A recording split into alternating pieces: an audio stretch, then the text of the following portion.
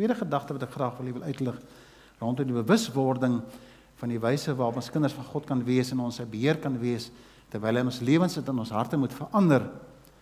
Die baie ontstellende gedeelte daarvan in vers 15 as hy sê maar julle byt en verskeur mekaar en pas op dat jy mekaar nie later verslind nie. Wat ek bedoel is laat julle lewe steeds deur die gees van God beheer word dan sal julle nooit soog vir die begeertes van julle sondige natuur nie. Want 'n sondige natuur begeer is in stryd met wat die Gees wil. En wat die Gees wil is in stryd met wat ons sondige natuur begeer. Daai geveg wat jy binne in jou dan sê hy mooi in 'n nuwe vertaling. Hierdie twee staan lynreg teenoor mekaar. En daarom kan jy nie doen wat jy wil doen nie, want in my vlees wil ek seker goed doen, die maklike goed, nê. Nee. Hy sê jy kan dit nie meer doen nie. Dit raak vir jou stryd in hierdie wyse. En daarom sê ek ons moet bewus raak van 'n stryd in ons lewe. Ons kom na die Here toe, maar weet net daar gaan 'n stryd wees.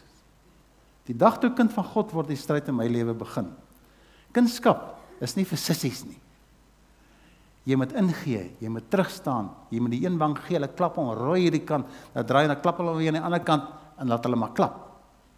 Die Here maak jou nederig, hy vul sy hy vul jou met sy gees sodat ons in die voorbeeld van ons Here Jesus Christus ons mond nie so oopmaak om homself te verdedig nie, maar dit gaan oor die die getuienis in die Here in, in die Here Jesus wat vir my belangrik is. Daai woorde nooit soog beteken die sonde, die trek na sonde sal altyd daar wees. Ons sit met ons liggame. Dit sal altyd daar wees. Maar wanneer jy kind van God is, dan word dit nie voltrek nie. Jong, jy voel so lus om my man sy strot te gryp. Maar jy sukkel om jou hand op te tel. Hy glip uit jou hand uit. Die Here kom stop jou. Dit gaan nie tot 'n volvoering nie.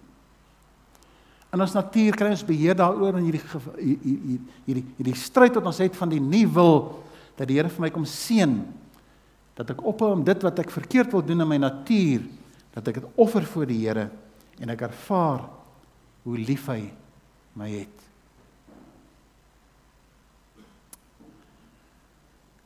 Maar nou moet jy ook maar versigtig wees. Ek's nou sommer stout as ek die volgende sê. Dit beteken nie as hy taxi voor die inry en hy sê haleluja, o ek so lief vir jou, kom ek gee jou soen, ek wil jou omhels. Nee, dis nie wat ek bedoel nie. Maar dit sê net jy sit jou hand op hy stuur en sê Here maak my sterk. Gee my krag. En jy plaas jy nie in 'n situasie waar jy die Here versoek om jou te moet werp in terme van die swakheid van jou vlees nie. En al hierdie jong meisies, en al die seuns wat hier sit, jy ry nie met jou karretjie in 'n donker hoekie waar niemand julle kan sien nie en jy is jonk en die begeertes brand in jou hart. Nou kruip jy daar weg en jy sit jou hand op die stuurwiel en sê Here maak my nou sterk nie. Gaan nie werk nie. Die Here gee jou wysheid. Dan vra dit die Here vir my se help dat ek bewus sal wees ook van hierdie my vlees en die ervaring daarvan. Wat ek graag vir julle ook wil sê is onthou net Die vlees is nie noodwendig sleg nie. Vra vir iemand wat jy kan sien hoe kosbaar is om oë te kan hê. Vra vir iemand wat jy kan hoor, verduidelik. Hulle gaan in elk geval nou nie hoor nie, jy gaan maar beduie hoe dit is om nie te kan hoor nie. Ek eh, daar daar was op staan nog nog van my se kinders wat gebore is uh hier na die Tweede Wêreldoorlog waar dames medisyne gedrink het vir die morning sickness storie en as die kinders baie keer gebore sonder ledemate, daai ma sal sê ek wens so ek kan my kind net vashou. Daar's niks soos gevoel, soos ervaring. Jou jou liggaam is wonderbaar kunstig geskep. Psalm 8 praat van 'n spesiaal God ons gemaak het. Hy het ons volmaak. Daar's niks met jou liggaam fout nie. Maar as wat hier in jou kop aangaan waar die probleem is. Jou wil. Hierdie kosbare ervaring van hierdie liggaam wat God moet dien, Hy is die tempel van die Heilige Gees, jy moet dit oppas. As jy nie waaksaam is nie, dan vang dit jou. Dan ervaar ek hoe dat ons ook in daardie wyse uh die paai loop en die vertrekpunt is dat ons liggame is nie noodwendig verkeerd nie, maar ons moet oppas wat ons ervaar. 17 praat dan van daardie stryd in ons harte waar ons dan vra Here kom help vir ons dat ons bewus sal wees van hierdie stryd in ons harte sodat die pyn van die sondige praktyke my terug sal bring na die Here Jesus toe na die kruis toe. Versoeking onder beheer van die Heilige Gees. nou sny ek hom fyn. Hy's nou kom fyn. Versoeking onder beheer van die Heilige Gees is iets waaroor jy beheer het. Nou maar gooi nou daai ding nou daarop. Kyk. Ou York, ou York se nou weet waarvan ek nou praat. Daar is nie 'n beter motorkar in die hele wêreld en as jy dit nou nie verstaan nie, weet ek almal is nie so slim soos ek nie. Maar hier is 'n Maybach. Dis die top top top motorkar van Mercedes-Benz. En hierdie jong man sal byvoorbeeld op 'n maandag ry ek daar na Bavaria toe daar in die stad, daar by die BMW motorfietsse, dink koffie daar, sit 'n bietjie begeer en so en dan ry ek nou weer daar weg. Ry ek by haar by Century City gaan ek daar by Mercedes-Benz in. Ek het al hoeveel keer om daai Maybach geloop, na geloop ek maar net weer om hom. Want ek kan die tegnologie waardeer. Begeer ek hom? Ja. 10%. Soms. Dalk. As ek uitstap. O, oh, dan stap ek as o, oh, kan ek ah, dis won. Nappa leer sitplekke. Sitplek wat jy vibreer.